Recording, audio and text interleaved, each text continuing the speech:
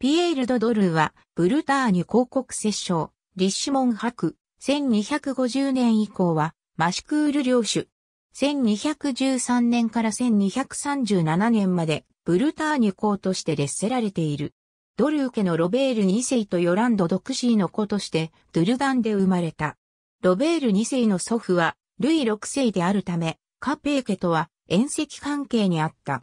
幼い頃から聖職者になるよう育てられたが、減属したため、悪しき聖職者を意味する、モークレール・モークレルクとも呼ばれた。彼を聖職者にしようとした父ロベール2世、その保書がある教会に掲げられた父の紋章を彼が壊した相和がこの別称の下敷きとなっている。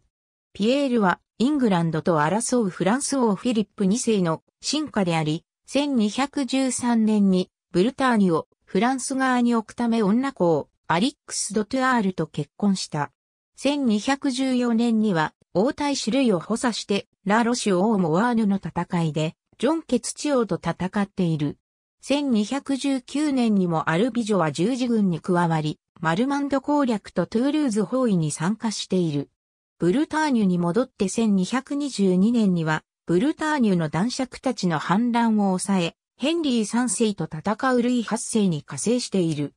ピエールは、アルビジョは十字軍に加わった諸侯であったが、ルイ8世の死後、1227年から1234年まで、摂政だったブランシュド・カスティーユに対して起こされた4度の反乱に加わっている。1221年に女子アリックスが死ぬと、ブルターニュ公国摂政にされ、長男ジャン一世が成人する1237年まで務めた。ピエール・モークレールはピエール・ブレーヌと呼ばれるようになり、1240年には異教徒と戦うため聖地へ向かった。帰国後、イングランドとの海上戦でいくつかの勝利を収めている。1249年、ピエールは西欧、ルイの第7回十字軍に参加したが、帰国の途中に戦場で亡くなった。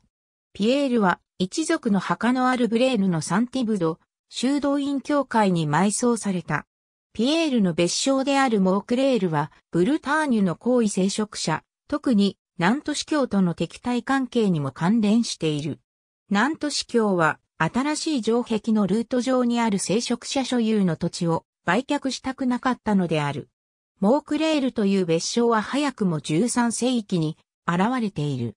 アリックス・ドトゥアールとは以下の三子を設けた。二度目の日ニコルとは以下の子を設けた。